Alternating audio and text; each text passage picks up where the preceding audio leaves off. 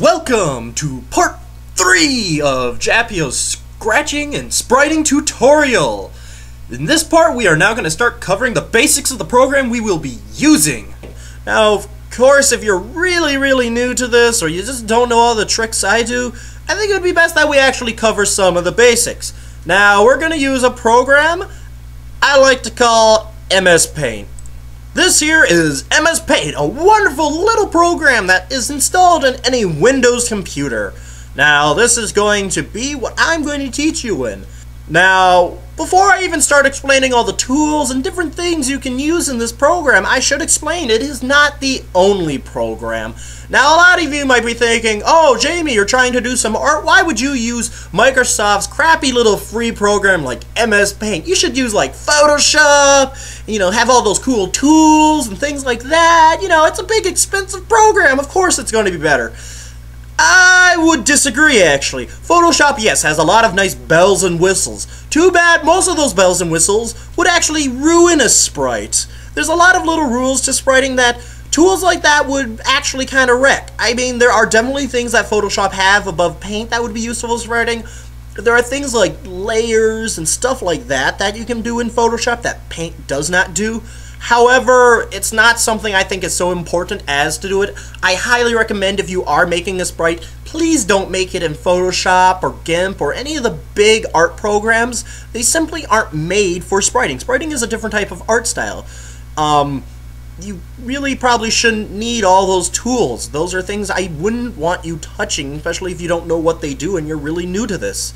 Um, it's a lot of confusion and it's really not needed. There are other programs though that you can use for spriting. There are programs like GraphicsGale that actually have a lot of cool features that are pretty useful. They're really good for animation and layers and editing and things like that. That I do not say you can't use. That is GraphicsGale is definitely a powerful spriting program. It's something that I'm just not used to. When I first was introduced to it, I just was like, eh, I'm used to Paint.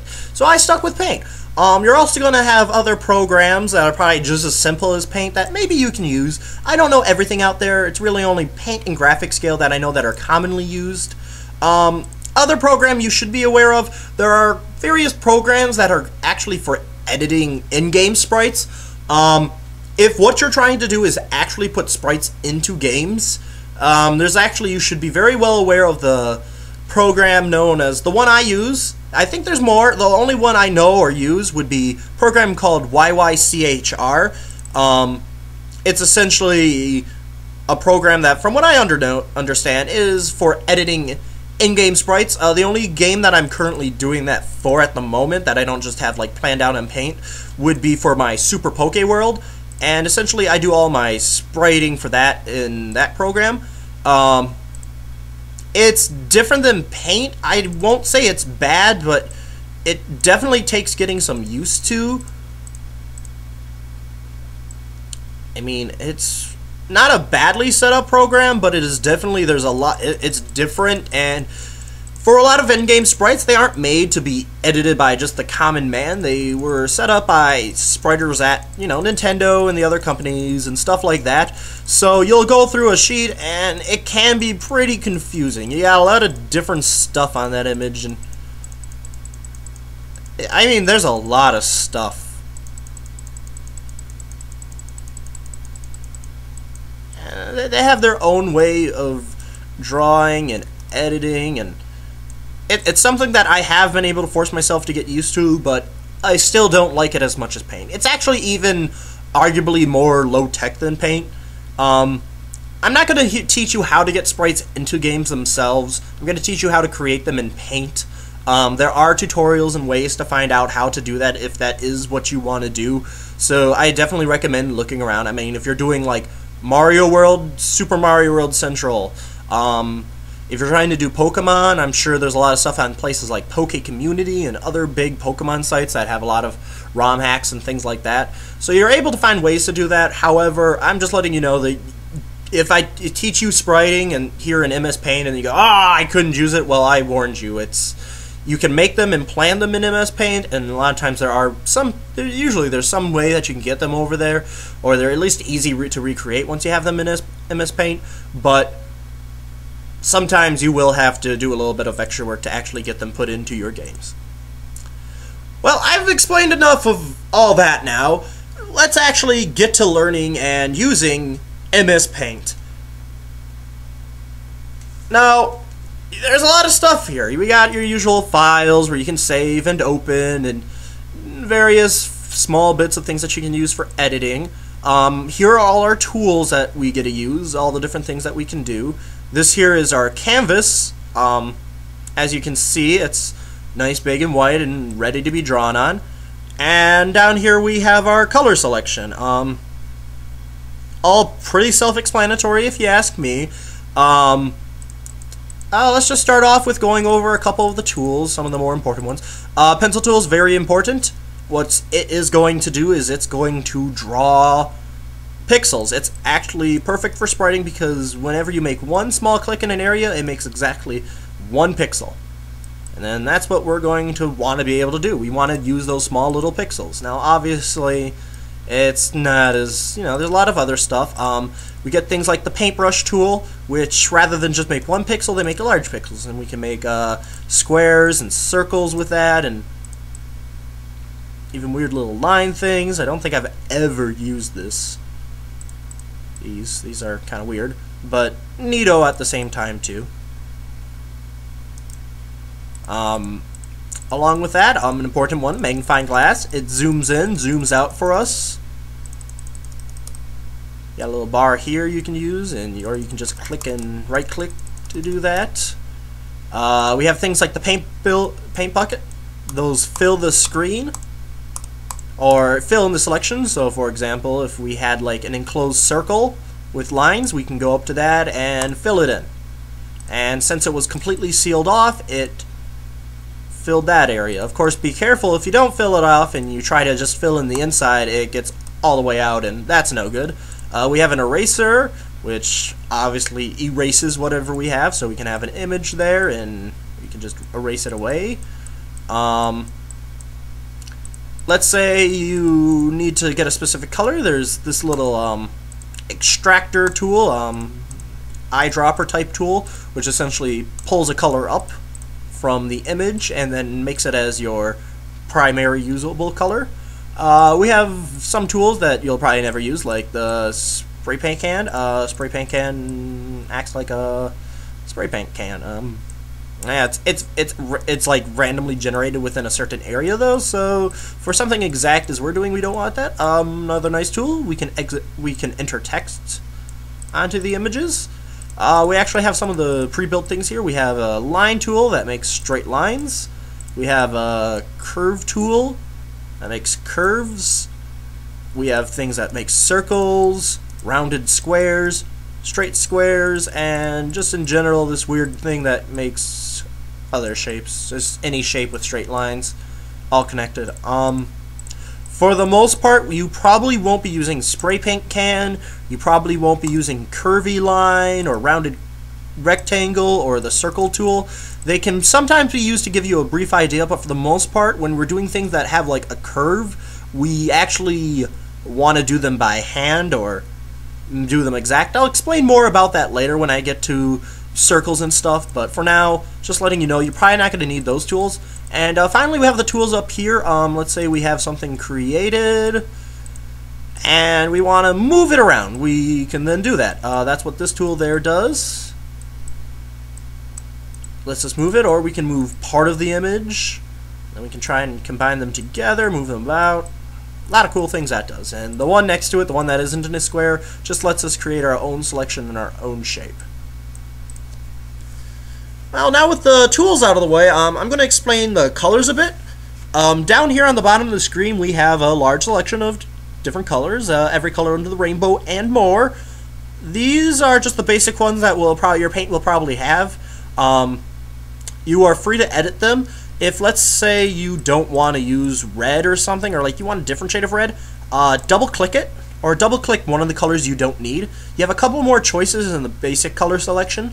However, you also can create a bunch of custom colors. Uh, just select one of the squares, define custom colors, and boom, you have this giant sheet of different colors that you can edit darkness on and get, you know, you can just drag your little mouse around down here or click and you know, find something. Um, maybe you want a weird green color that's kind of dark. Um, if you know number color stuff, I don't even know what this is called. You can edit that by hand. Um, then just something like add custom colors, and boom, we have this cool shade of green that you might want. And now moving on, um, right here in the left side of the color area, you have what is called the primary and secondary color. Um, these are going to be the two colors that are assigned to your mouse. Essentially, at first, what you're going to notice with them is the first top primary color here is what happens if you take one of your tools and you draw with it, and that's going to be the primary color if you use the left click. However, if we set something like, let's set our green up on the right click, you actually create and if you right click on the screen with your drawing tool, you'll actually create that secondary color. Um, there's two good uses for this one. If you're doing something that, you know, you're using two different colors at once and you want to switch back between them a lot, um, that's useful. Another thing this is useful, um, going up to that eraser tool can be tiring sometimes. So let's say, you know, we're drawing with our paintbrush tool and we're drawing, you know, these big black lines. Um, if we have our secondary color, um, for example, this time white, Eh, we have it as white and our background is white, it will actually let us just we can just use the right click to essentially use this eraser tool. Sometimes it doesn't work, but if you're just editing one small little pixel or two, it's going to generally be what you have to do. Now, more things that we can do with actually primary and secondary colors.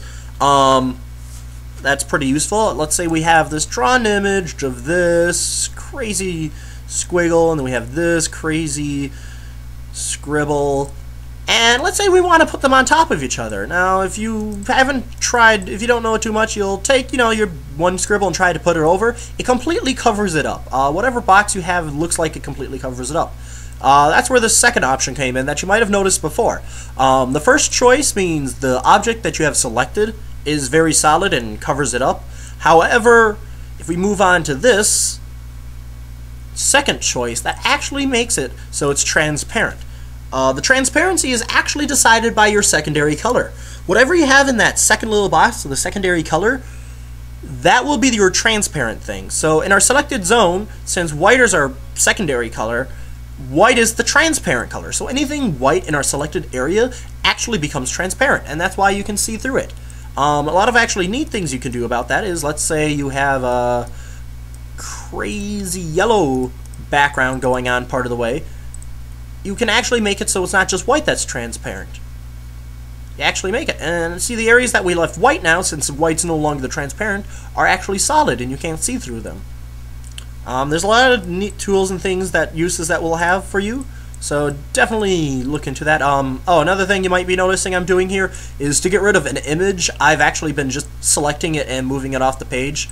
Um, it's just something I've grown used to. Some people will select and you can actually hit the delete key or some people will go in by hand and try and erase it themselves, or if it's a solid enough mass, you can use the paint bucket tool too to get rid of it, if it's all connected. One last little tip about the primary and secondary that you might see me do. Um, one form of spriting that you need to know is known as recoloring that you'll want to know. So if you're trying to recolor an MS Paint, you can go in and by hand and individually change every one of them, or you can use the eraser tool. Um, the eraser tool actually does more than just erase colors. Um, if you just normal left click, it will essentially turn everything to your secondary color. Like right now, since I have this yellow as my secondary, and I, if I left click, it just basically acts like it's just coloring with yellow. Uh, normally, you would have it set up to your background color if you wanted to erase with it. However, a second tool, if you right click with it, it will actually do something pretty amazing. Um, first, let's just show you, though, what happens if you do it wrong. Let's say we have black selected as our primary. Nothing on our image is black. We go in, we right-click, and we drag about. As you can see, no changes are happening. However, let's switch it to the color of our giant blob here. If we switch our primary to the color of the blob and make our secondary something different, let's say yellow, and we actually right-click through it, as you can see, the green slowly turns to yellow. However, the background doesn't. Nothing else does. We can actually even throw in, let's just real quick, throw in some other colors into our blob, like that, but we still want to only change that green color, completely ignores everything else, and just changes that one thing to that. Another use for that, let's say we have this cool image, but on this weird scribbly background. Um, we take that weird scribbly background's color, we change our secondary then to our background color. We can actually get rid of all that nasty blotch underneath, leaving only our main image on top. That's actually going to be something I'm probably going to teach you later on, is actually that's going to be very useful. Another cool tool that you have, if you go into View and Zoom, you can actually even select this thing called Show Thumbnail, and it will open a little box for you that will actually show you your image on normal scale. So let's say we're all zoomed in and, you know, we can't really see the full image when we're like this. But since we have our little thumbnail open, we have a nice little live thing that's showing us what it looks like on a normal view. So even though we got our big blocky lines here, over there it looks like what the final product will look like to a normal person who isn't zoomed in. Um, another useful tool, same menu, under zoom, we have a show grid. Show grid does what it does. It shows a grid. Um, something I don't use, but you can definitely use. It depends what kind of visual person you are. However, you know, this makes it so you can exactly see all the grids and where things line up. and It definitely has its uses depending on who you are. Um, a couple more things you might see me do throughout this video um, that you can't see. Okay. Is as I'm drawing a line, you will sometimes see it where I get partway through and then it disappears. Um, that's pretty simple to do. Um, I'm left clicking with my mouse to draw this draw this line here. Um, and then partway through, while still holding the left button on the side, I don't like this line, I want to get rid of it. While still holding down the left arrow, but you can't do this once it's already done. But as I'm holding it, I right click. If you right click while you're drawing something, it will actually completely undo it. Um, another thing you'll see me do I'll have an image, and let's say I just want to make a copy of it. Rather than doing this, right-click, selecting it, right-clicking, and hitting, like, copy, I'll instead probably just go over it, hit control, hold down control, and then left-click it over and this will actually let me create copies of things. Another thing with your canvas is you want to you can actually change its size. If you want a smaller area for some reason, you can do that. If you wanted something larger, you just click and drag. You can change the vertical. Um, this will be important for later on when you're saving your thing. Um, you don't want a lot of empty white space, so you'll actually want to close things up and crop it around your image. Well, that's the end of part 3. Hopefully by now you know how to use MS Paint. If you don't know MS Paint, you're probably going to run into some problems now. Basically, though, get ready, everyone. We are actually diving in. We're going to be doing the actual spriting next with forms and shape and things like that in part four.